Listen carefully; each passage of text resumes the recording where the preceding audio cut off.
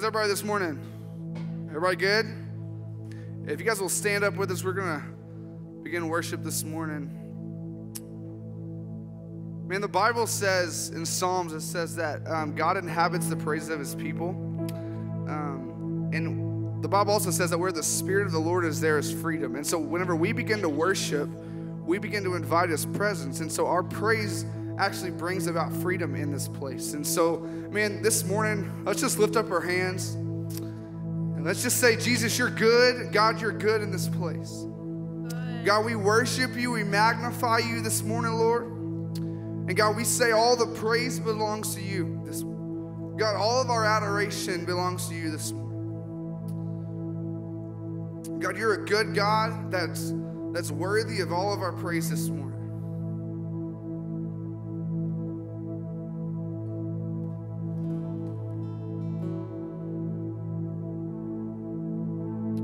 Say, Come, Holy Spirit.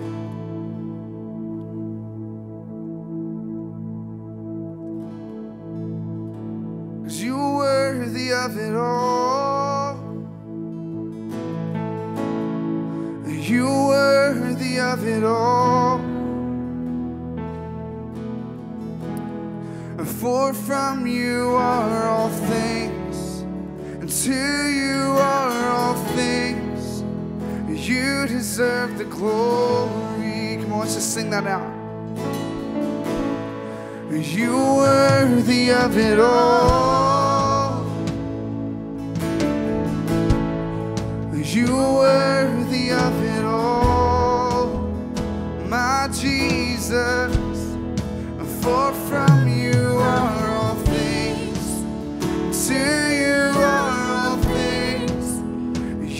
deserve the glory.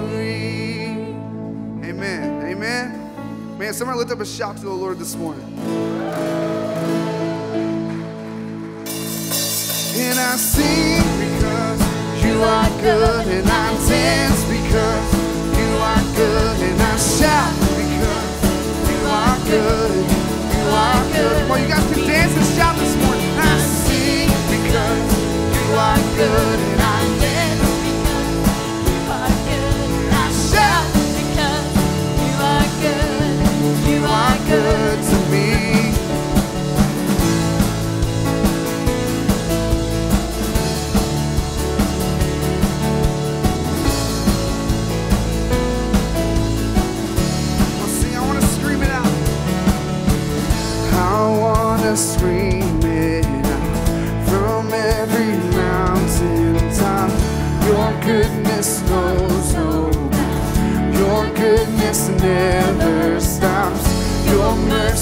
follows me. Your kindness fills my life. Your love amazes me. Come on, shout it out. And I sing because you are good, and I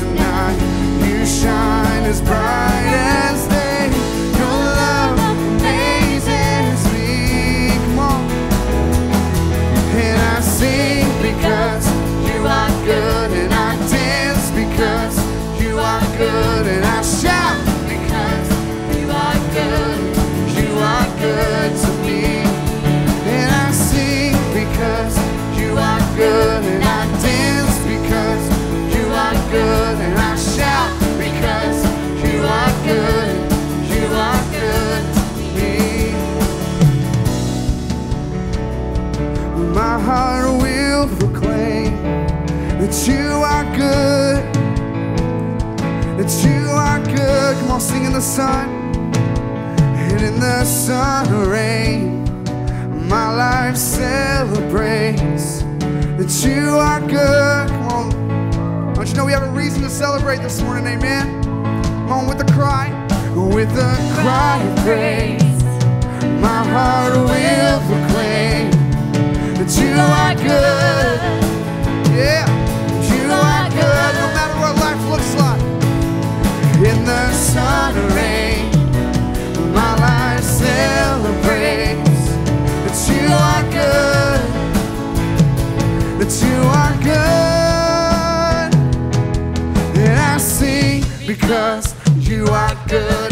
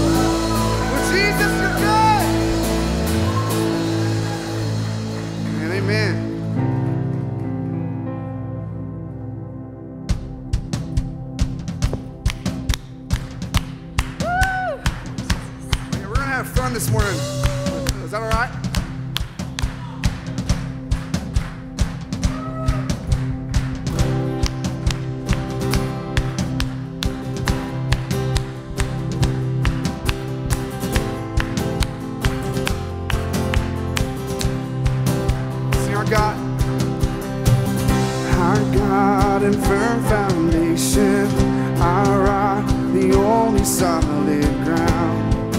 The nations rise and fall. Kingdoms once strong, now shaken. We trust forever in your name. The name of Jesus. Come on, shout it out, church. We trust the name of Jesus.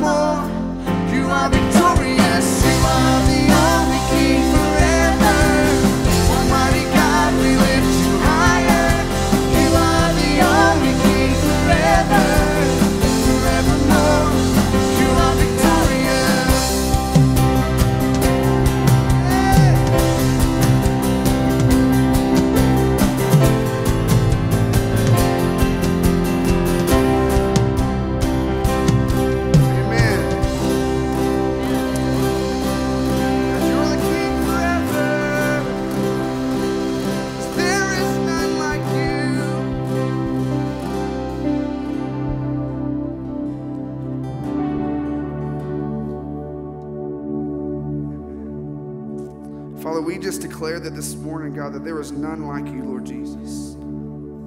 God, there has never been anyone else like you, Father. God, there, there will never be anyone else like you, King Jesus.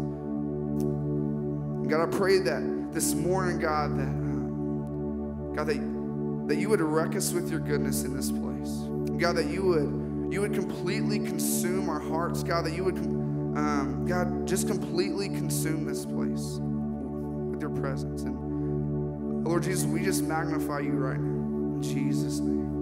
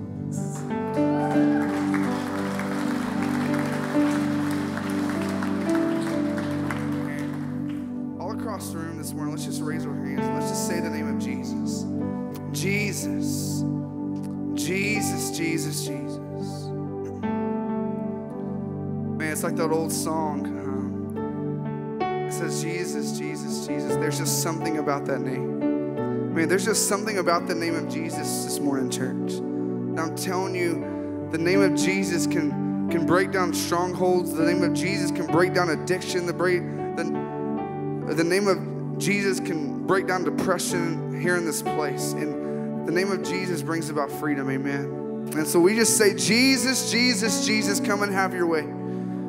Come and have your way in this place, Lord Jesus.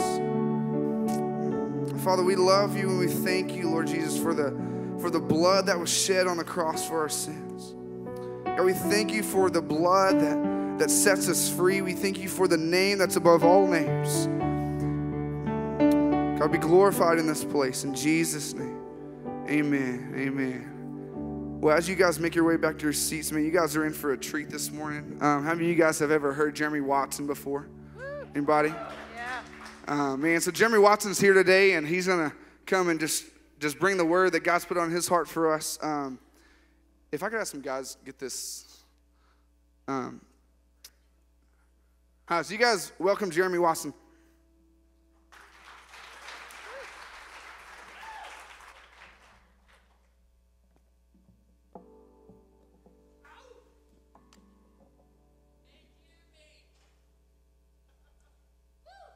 Got a single fan in the back. I appreciate it.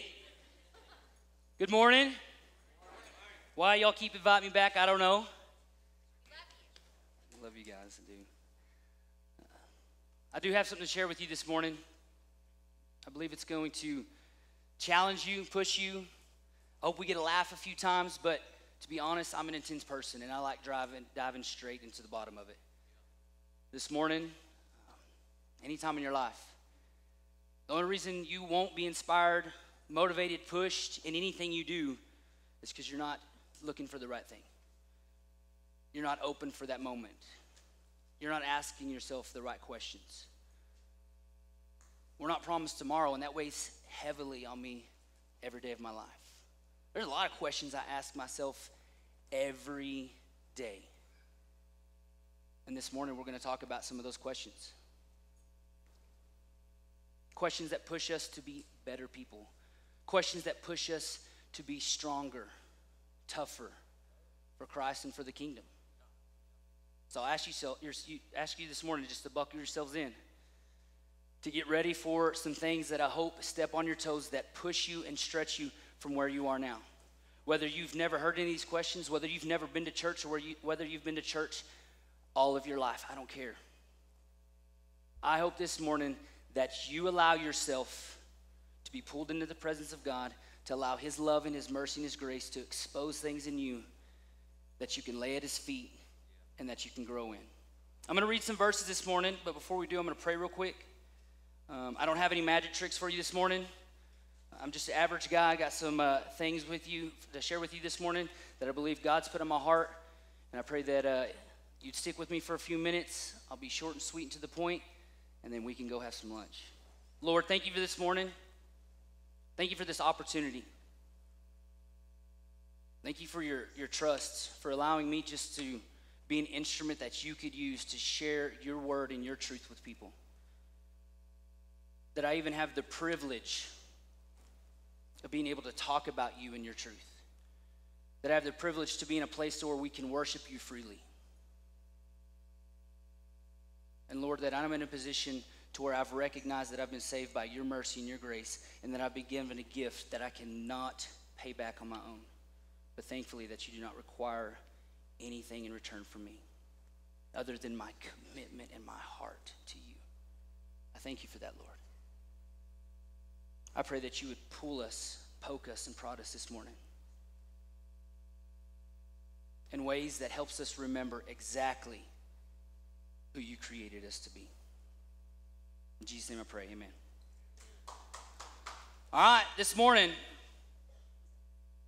the biggest question, the biggest thought I have for us, okay, and what I titled my message is it's when we forget who we are. When we forget who we are, things get messed up. when we forget who we are, things begin to change. And it's not for the positive. When we forget who we are, I become selfish. I become motivated by things that will not last for an eternity.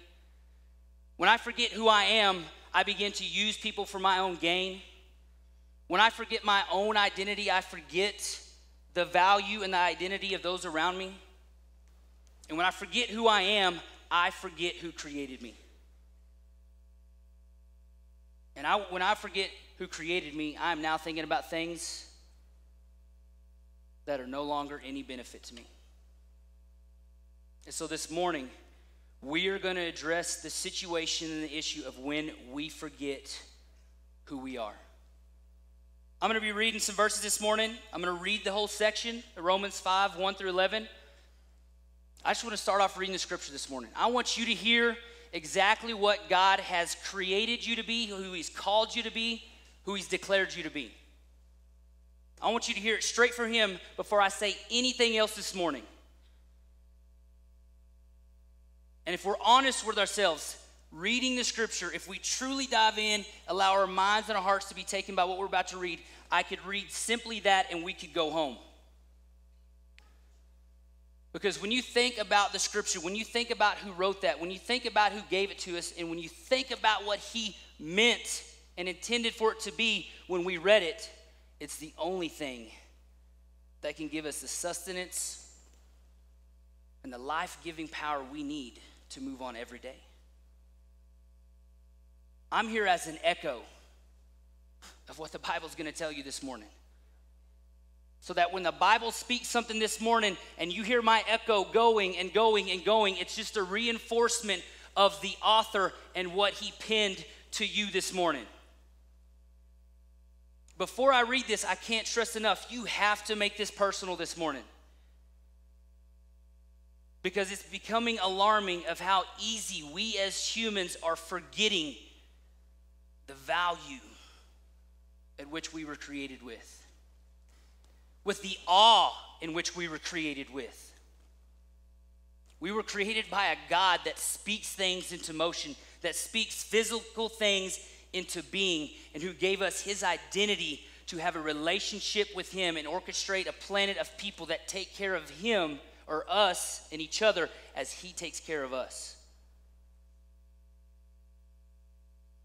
It's overwhelming when you get to the bottom of it, of it and you think of who wrote these words to me, to you this morning. And when we remember the motivation in your life to do things that you've never done before suddenly increases because you now have the fuel to push your locomotive, the life that you have, down the tracks in a different direction that you thought you could never go because he has things to give you this morning that you may have never tasted or never possessed in your life before. Romans 5 1. Therefore, since we have been justified through faith, we have peace with God. Mm, peace is a good word, isn't it? It's not much peace going around among people today. There's not many people offering me peace. They're offering me things, they're offering me things I can spend my money on, they're offering me opportunities to spend more time doing things away from my family or away, away from the people that matter most, but peace is not something that's spread around very often these days. But with God, it's something that He gives generously. We have peace with God through our Lord Jesus Christ, through whom we have gained access by faith into this grace in which we now stand. And we boast in the hope of the glory of God.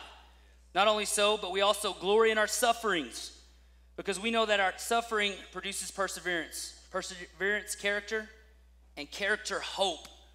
And hope does not put us to shame because God's love has been poured out into our hearts through the Holy Spirit who has been given to us. You see, at just the right time, we were all still powerless. Christ died for the ungodly.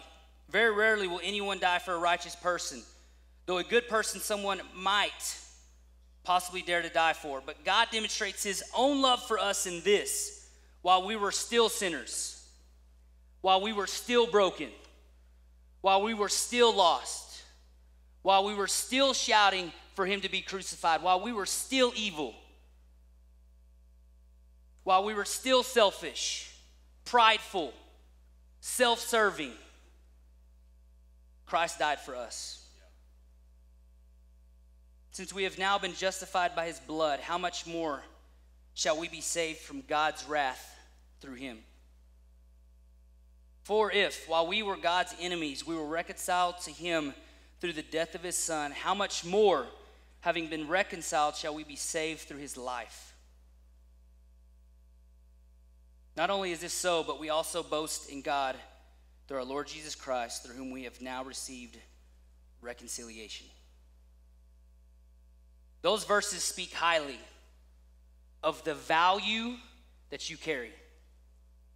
Before you even had the choice to choose whether you were going to buy into this thing that Jesus Christ was doing, this crazy enigma of a man who was going around in ancient times talking about eating his body and drinking his blood and sharing with people that he is the Son of God.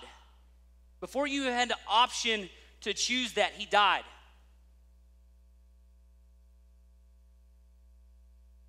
I don't know many people willing in the room to pay for something that you're not guaranteed to receive. And I'm not talking about 10 bucks. I'm talking about guaranteed to stake your 401, 401k on something that you're not guaranteed to receive.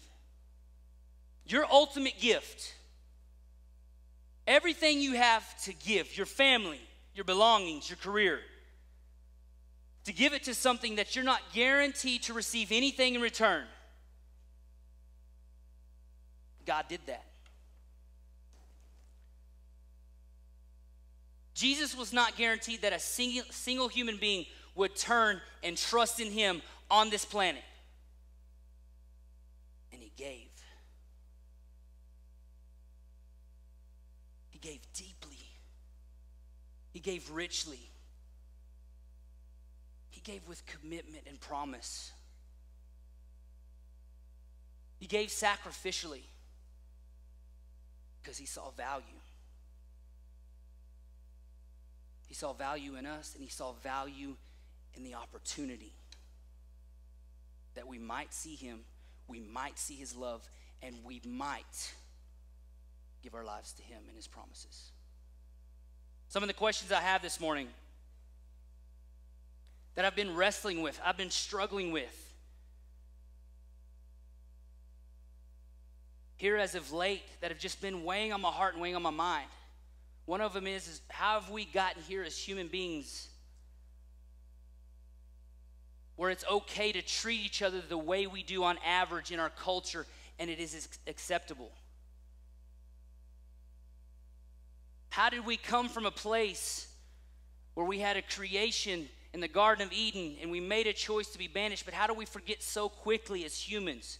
Can't blame Adam and Eve. I'm asking us because if we were there, we would have done the same thing. How do we forget something so glorious and promising so quickly? How do I forget the times in my life where God has touched my heart and things have just melted away and I've trusted in Him and I'll go two, three days or weeks at a time and suddenly I'm back in the grind where I'm just moving around. I'm stressed. I'm busy.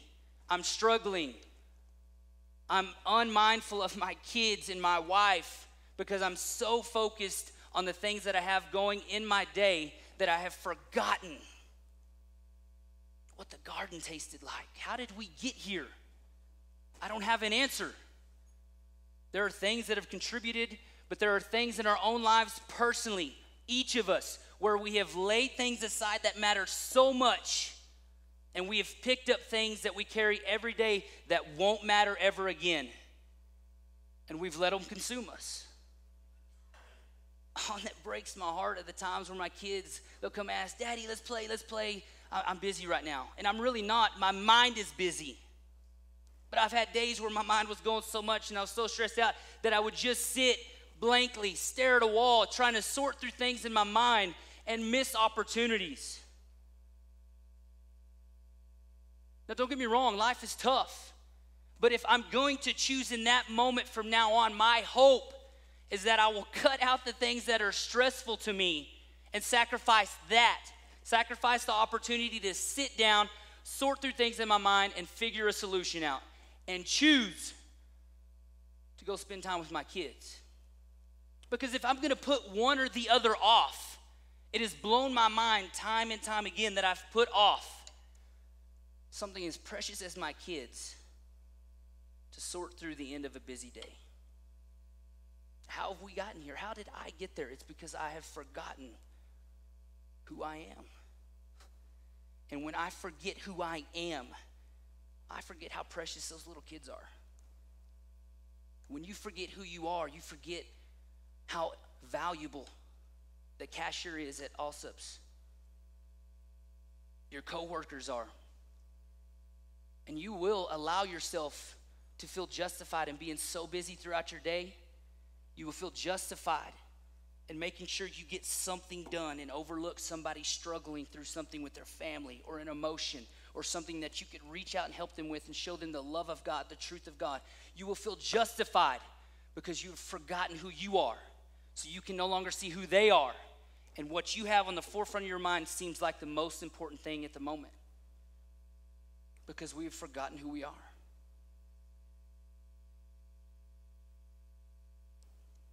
Where did hospitality go? Where did it go? I read about times in the Bible where people would travel from town to town and they knew that when they got there that somebody would be willing to let them stay in their home, feed them, give them something to wash their feet off in, their hands in because hospitality was something that was ingrained in us as humans because you knew that if you wanted to go to another town in those times and travel, you would hope that somebody would have an open door for you when you got there. It was common sense, I believe, to us as the human race in the beginning of time that if you needed something, you would hope somebody would be there so that when you saw somebody that needed something, your immediate thought was, I'm going to be there. Where has hospitality gone? How do cars sit so long on the side of the road these days with nobody stopping? Now I get it.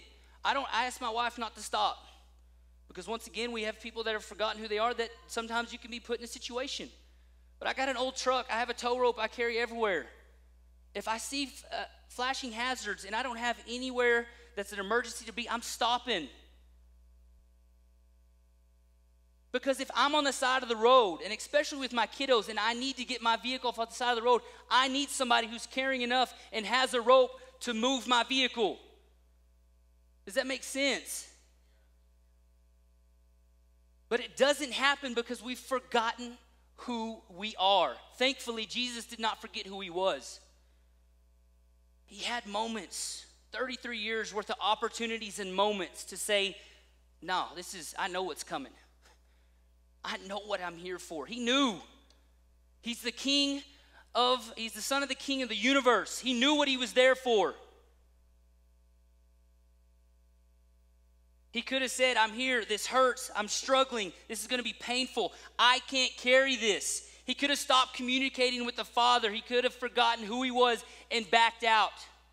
And we wouldn't have the opportunity that we have today at redeeming salvation in Jesus Christ. But luckily, he did not forget who he was. In the garden, he begged before he was going to the cross, Please, God, please, Dad, if you can, please let this cup pass from me because it's going to hurt. I know what's coming. It's not just the nails, it's not just the cross, it's what you're going to put on me spiritually. It's when you're going to turn your back from me and disown me and look at me in shame because I'm going to carry the sins of these people who are yelling to kill me. Please take it from me, Dad. But if you won't, I'm going to walk in who I am as the sacrifice, as the chosen lamb to finish this job. I'm going to walk in mental toughness, physical toughness, because he was a man at this time, a person. And he said he's going to finish it. And we know by what the Bible says, what we just read, that he did sacrifice himself for us, and that his dad said, No, it has to be done. Because neither one of them forgot who he was and what he was there to do. And I'm eternally grateful for that. Where is commitment gone?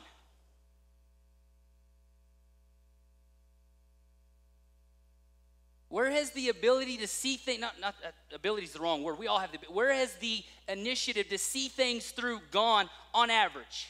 Now, as I ask these questions, if you are a very committed person, uh, if you're a very hospitable person, please know I'm not trying to come at you. I work in education, okay? I work with kids, I enjoy working with kids. And if anybody else works with kids as a group, okay, you can clearly see a year to year difference in where we as a culture are going. It's kind of like a thermometer because that's our future generation of people that are coming up in our country. And the amount of commitment is decreasing, the amount of hospitality is decreasing, the amount of students in my school that are willing to serve their, their fellow classmates, to serve uh, the uh, administrators or the adult figures, the authority figures in their school is decreasing. I've been self serving in my life. I'm just seeing it more and more prevalent across the board in our country as we move forward.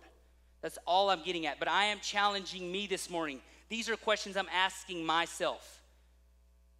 If they don't apply to you, please, I'm not trying to come at you.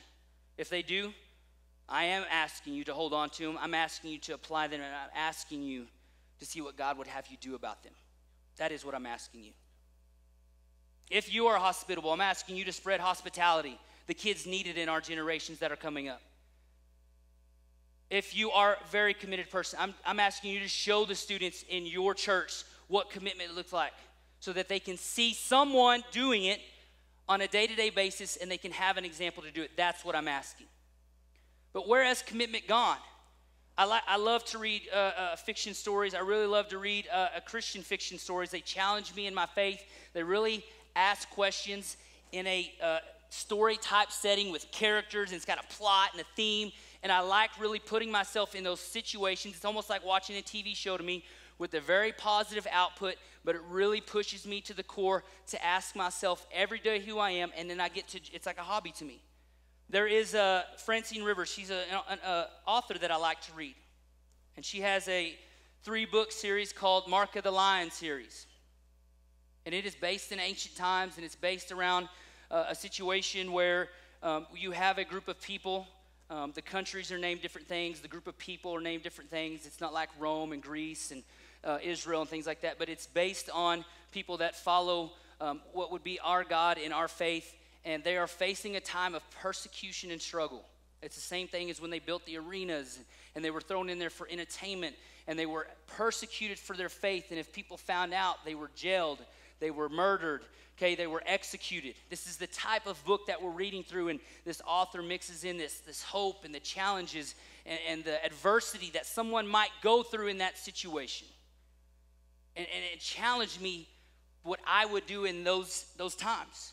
But when I read those books that are themed in, in that time of, of life and mankind, when people were riding around on horses and people were fighting hand-to-hand combat often and people were chivalrous and there was character and you didn't have a, a huge need for police officers because, because people were out um, taking care of their communities and patrolling and they were uh, uh, on average honorable and just and they would hold people accountable for their actions. In those types of settings there were many times where people's lives had been spared or somebody's life had been saved uh, maybe by a warrior or a king or uh, maybe even a woman through healing and, and, and throughout these stories.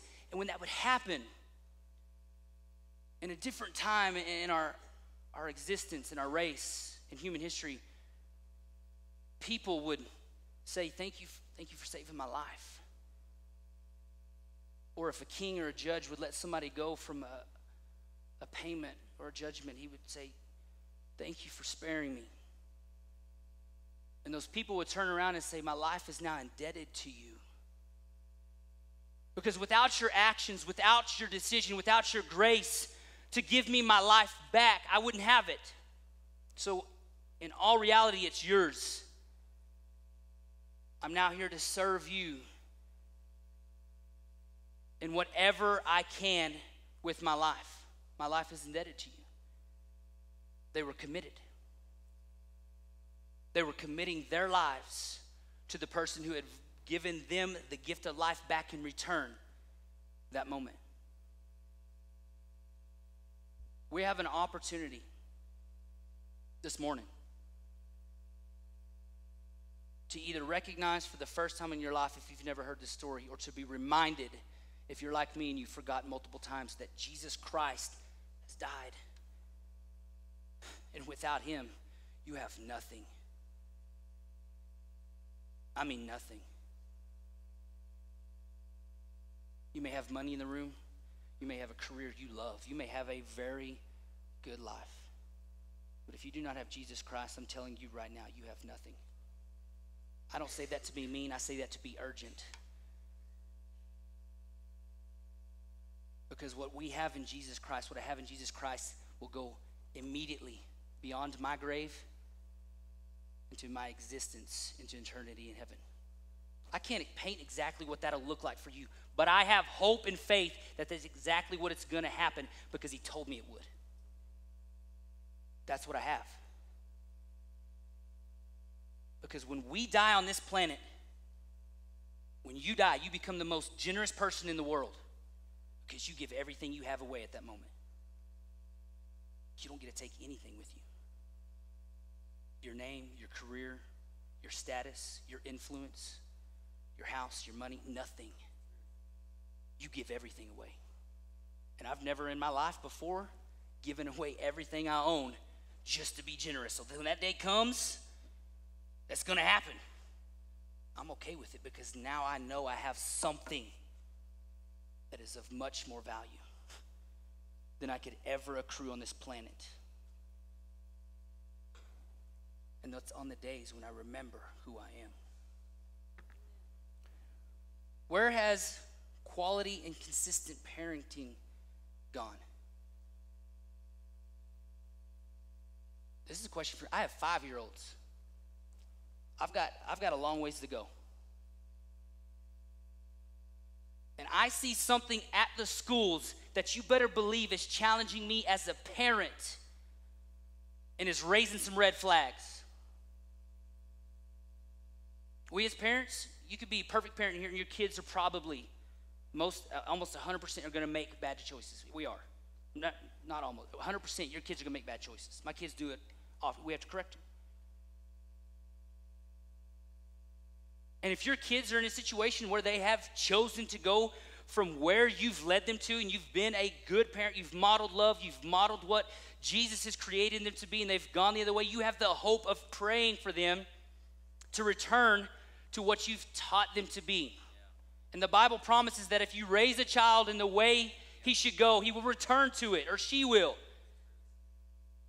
If you have not done that and they are older and gone, it's not too late to change what you've done in the past and to show them now hospitality, commitment, love, consistency, grace, mercy. Because until you're gone or until they're gone, there is hope that Christ can impact any of our lives and wreck our worlds and change who we are.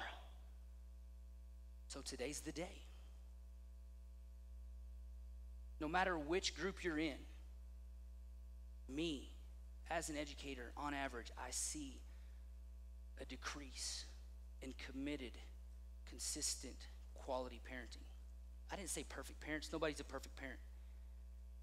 But the amount of kids that I see that do not have a parent contact on their records or that live with aunts, uncles, or grandparents has increased dramatically. Now, I'm thankful for those family members that take those kids in. I'm not saying that they do not have um, they have nothing. But I know from enough time spending in relationships with people in my life that did not have parents growing up what it means to have that void there. Where is it gone? The biggest mentor in my life has said that kids are a reflection of their parents. Not a mirror image, a reflection, almost like you would see in a, a rippled pond or something they're a reflection, they're similar. They carry your guidance, your wisdom, your character. They have their own personalities, they make their own decisions, but they are a reflection of you. And so, what we see at the schools are simply kids modeling what they are taught, whether it's right or wrong. And on average, they're being taught things that push them further and further away from who they were created to be. And so when they forget who they were created to be and their value, they see nobody else around them as having value.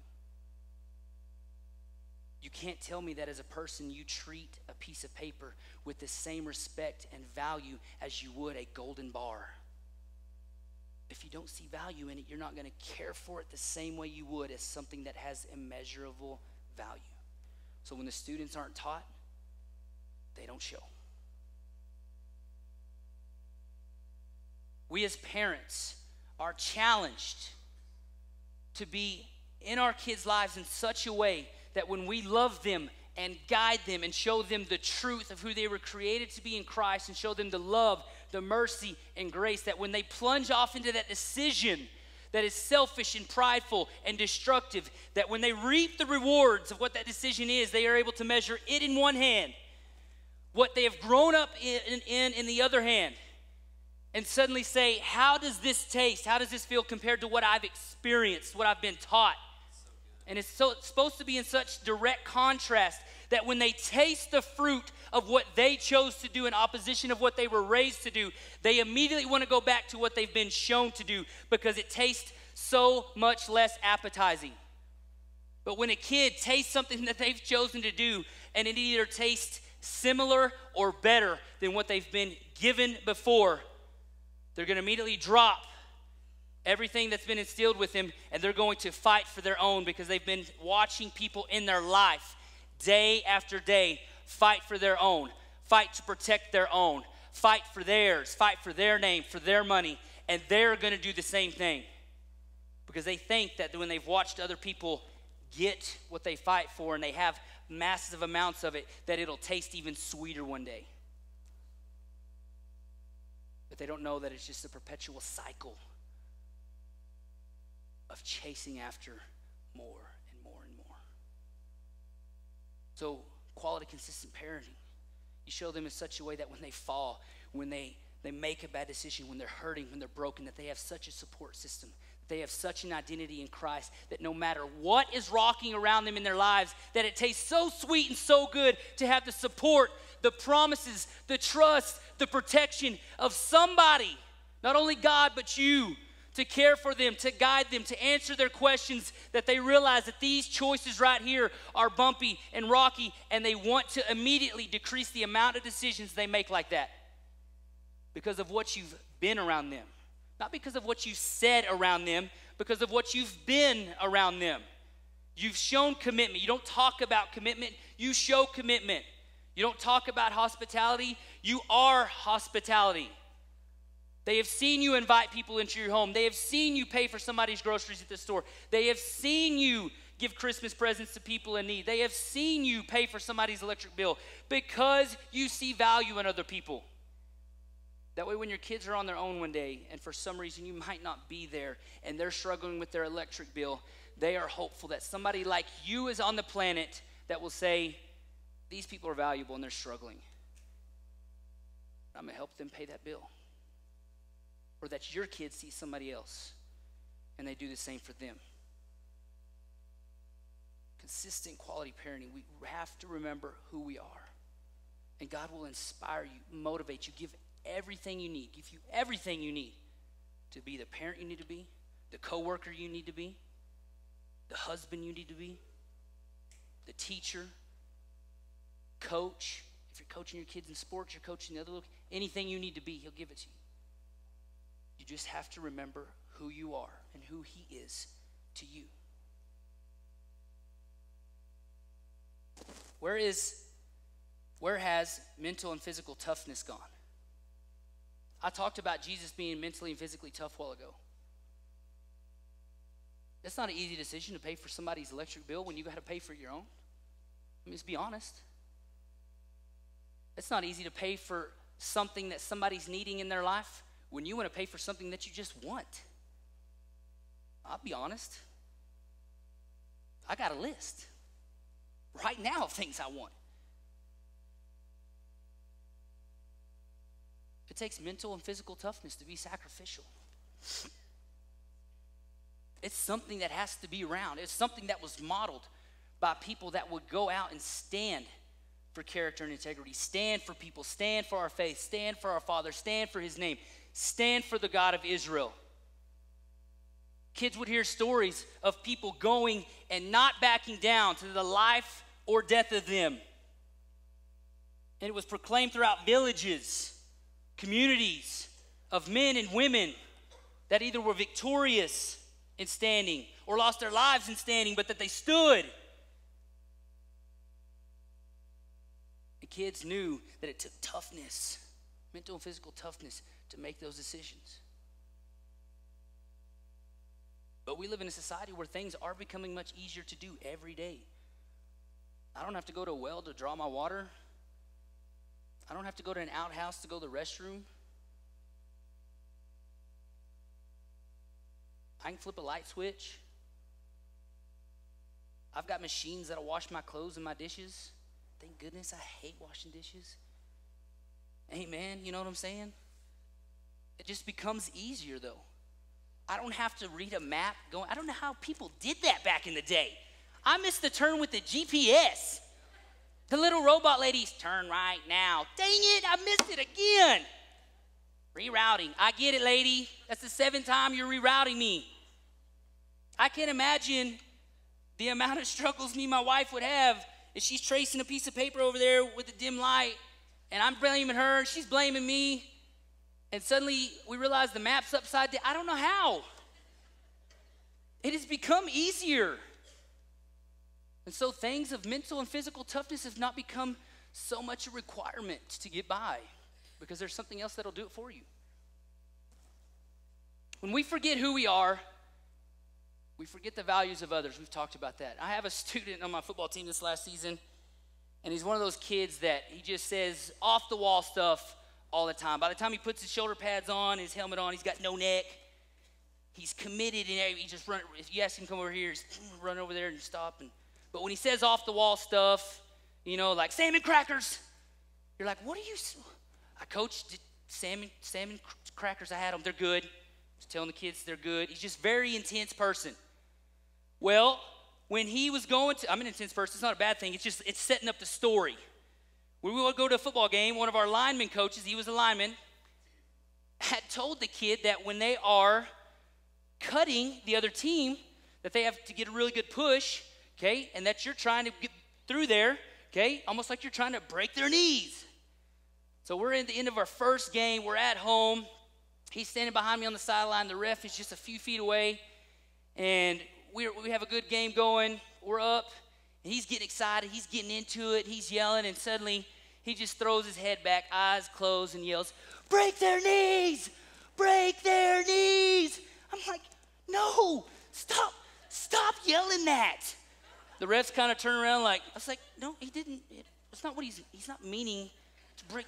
And so I have to go talk to. him. He's like, "Oh, oh, so, sorry, coach." And he was genuinely concerned that he said something wrong, but it was the way he said it.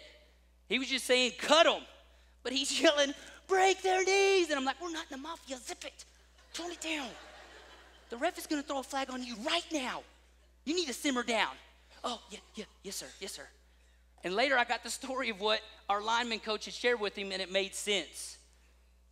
But I say all that to say this we have people in life that are willing to cut other people at their knees to gain whatever they can. Because they do not see the identity and the worth of who created them to be the person they were created to be. They do not see the opportunity they could have in a relationship with that person. A lot of times in the relationships in my life, I've found that I've benefited more from those relationships instead of using that person for my benefit. Let me say that again. I've benefited more from the relationship than I've benefited from using them to gain something. But too many times we don't take a moment to find that out because we're cruising right on past people.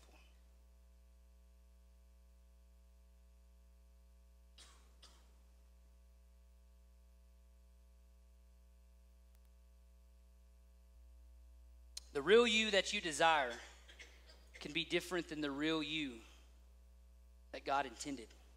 but the true you will always be who God created. When you forget who you are, you need to remember this. I'm going to say it again. The real you that you desire can be different than the real you that God intended. You can choose to go another route. I choose often to go another route. I forget. But the true you will always be who God created. And if you hold on to that, you can always go back to the one who is the solution.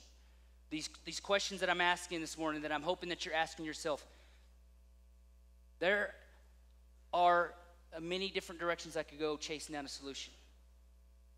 But through getting prepared for this message and through asking these questions in my life, one thing has dawned on me. I don't, I don't want to chase solutions. I want to chase the one that is the solution. It's not that you have to come up with something to solve the problems in your life. You just have to go to the one who is the solution to the problems of your life. And if somebody that'll care for you so much to die for you before you even acknowledge that he was even there will teach you how to care for your wife, your kids, your coworkers. He'll teach you how to care for your money, your house, your future, your grandkids, your nieces and nephews, your siblings, your schoolwork, your career. He'll teach you how to take care of all of it. So it's not this morning that I'm asking you these questions so you can start doing a lot of good things to be better for Christ and be more who He created you to be. I'm telling you that you simply, if you recognize these questions that, that, that they're there, you can rest in knowing that He will provide you the things that will help you walk through these questions and show you who you need to be. He's a good father. He won't talk about it, He will be about it. And He will show you commitment, He will show you hospitality. When catastrophe hits your doorstep, He will show you how to hold people through tears and snot and crying and pain because He'll do it for you. No matter if you ever feel like you're alone, He is always there for you. And if you never see an example of these things that we're talking about today, because sometimes I get frustrated and I'm thinking, you know, I want these things so bad in my life, I want other people to show them. But if there's not example in your life for these things, you have to be that example. It has to start with someone somewhere. You cannot give yourself the reason of saying, well, I'm, i have to wait for somebody to show me the path. No, you blaze a trail. You don't wait for somebody to clear a trail. You don't have time to. Because there's a good chance nobody will. There's a good chance that a lot of people around you in your life may never remember or be exposed or choose to tap into who they're created to be.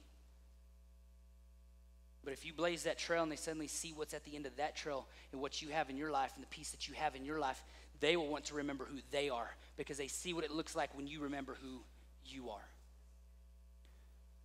because it's contagious. It's motivational, it's inspirational. It's something that creates a hunger inside of people. That's what Jesus did. He never sinned, he, he just reflected who the Father was. That is why he, he, he had crowds of people flock to him. Billy Graham, I'm not saying he didn't sin. Billy Graham, though, was a person who was good at just reflecting who the Father was. You ever listen to his messages? He was simple. He read the word, he preached the Bible, and people came in thousands to listen to what he was telling them about Jesus. That's who they were drawn to. If you reflect him, it will create desire in you and others. I don't mean fake it. I don't mean pretend. I mean, if you be who God created you to be, it will be contagious. I'm going to read the scriptures that we start off with one last time so that you remember who God says you are. Remember, I'm just an echo this morning of what the Word says you are this morning. And I'm only going to read verses 6 through 11. You see, at just the right time when we were all still powerless, Christ died for the ungodly. Very rarely will anyone die for a righteous person, though for a good person, someone might possibly dare to die. But God demonstrates his own love for us in this while we were still sinners, Christ died for us. Since we have now been justified by his blood, how much more shall we be saved from God's wrath through him? For if while we were God's enemies, we were reconciled to him through the death of his son, how much more, having been reconciled, shall we be saved? Shall we be saved through his life? Not only is this so, but we also boast in God through our Lord Jesus Christ, through whom we have now received reconciliation. His actions prove your value. I'm gonna be honest with you. I would probably say no to giving up my life for the people in this room right now, just saying, I got to pay for their sins. He did that for you. Because he sees things that I don't.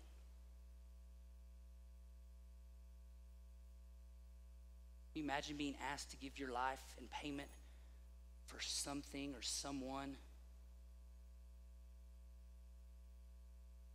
And you do it? It communicates value. So if you ever doubt how valuable you are to God, you have to remember. You don't have to hear what he said about it. Just look what he did about it. What we say in our lives are a, pro- a, a protest, a declaration of what we believe. Our actions are evidence for those words.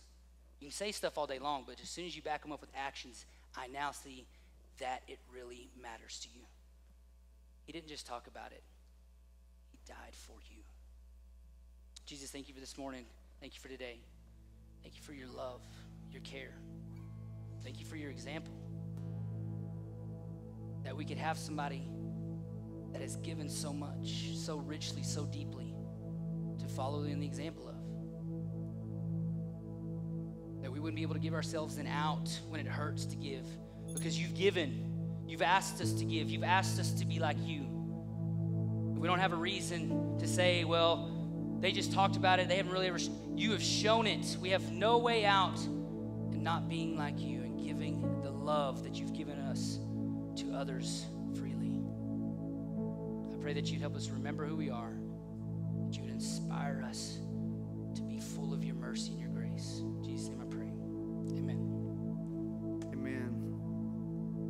Let's all stand up this morning. And um, man, just as he just said, um, just for us to remember who we are, you know, we first have to remember who he is. Amen. And so, man, um, this morning we just get to remember what Jesus um, has done for us just by partaking in um, uh, communion um, with him and just remember the blood that was shed on the cross and his his body that was broken for us. And so, um, as we come, um, we're just going to uh, continue in worship this morning. So, uh, won't you come this morning?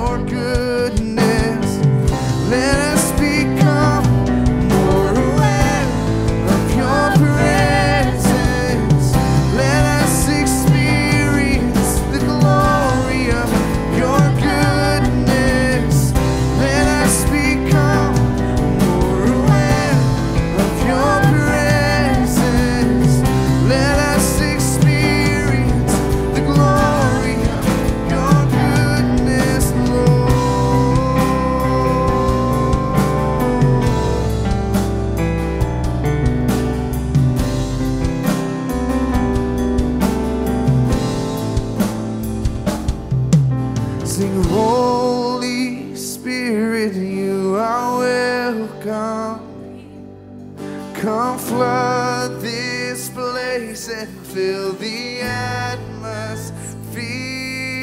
Your glory, God, is what our hearts long. To be overcome by your presence, Lord.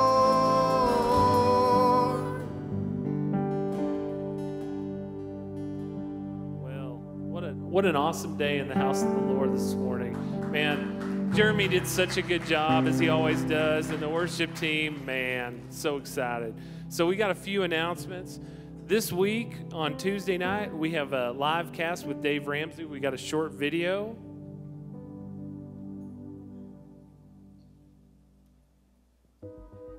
We spent two and a half years of our life losing everything we owned. We were bankrupt. Changed my life. So I know how it feels to be there. I've been there, done that. That began a quest to figure out how money really works. We don't talk about problems, we talk about solutions. We must understand we've got an opportunity. Take that short term sacrifice for incredible long term results. You've probably not had anybody tell you that you can do this. You can change the story. I want to challenge you. What could you do today? I want you to dream a dream that you can't imagine not achieving. You'll start to gain traction. You'll start to win with money and ultimately live the life you want to live. So, how do we get it back? How do we awaken this wonder in our lives? The caliber of your life is going to be depending upon the choices you make right now. If you can be focused and you can be intense, you can do this stuff. This is not theory. This stuff works. Again, louder! All right, so that'll be Tuesday night from 7 to 10. Come be a part of that. It's free. Um, and we'll use that as kind of our kickoff for sign up to roll into a financial peace class in January. So come be a part of that. Also, um, Saturday night, we have a men's night. And man, if you've never been, it's, it's only about an hour. We do some worship. Will be here to do worship, and then um, we're going to have a, a short testimony. Man, it's a great time to fellowship with other men in the church. So, man, I just ask you guys try to try to try to carve out an hour on Saturday night to be here because you will be blessed by that. Um, if you're a first-time visitor, or even if you missed the first time, um, we've got a gift for you. If you'll see Calvin back in the window back there, wave, Calvin. Um, we want to get your information so we can contact you. Um, go fill out one of those cards and get that free gift from the church. We'd, we'd uh, really like to have record of your, your visit here. And then finally, today is church potluck. And I've been back there helping put food out, but I, I want to give a shout out to Tony Witt and Kayla Stribling and Jackie West and Calvin because they've really been working hard back there. Um, so after we get done here, um, you visitors go get your card filled out, but then the rest of y'all can go um, get, get in line and get something to eat. And even if you didn't bring anything, stay in fellowship with our family. This church is more about just coming to church on Sunday. It's about being family. So let's let's break bread together and fellowship. It's it's really easy to fellowship over some of Susan's peach cobbler. And so so come and be a part of that. Guys, if you can help us get some chairs out so we can put some chairs back here that I mean some tables out so we can put tables back here because we'll need some more out. I'd appreciate that. Um, let me pray you out, and that way we don't have to bless the food again, and uh, we can go eat. So, dear Heavenly Father, I just thank you for this church family. I thank you for everybody that's here today, Lord. I thank you for the blessing of the worship and the message that we shared today, Lord. I just ask that this food that we uh, go to partake in would draw us closer to you and closer to each other, Lord. Help us to fellowship. Help every family to be blessed today, Lord.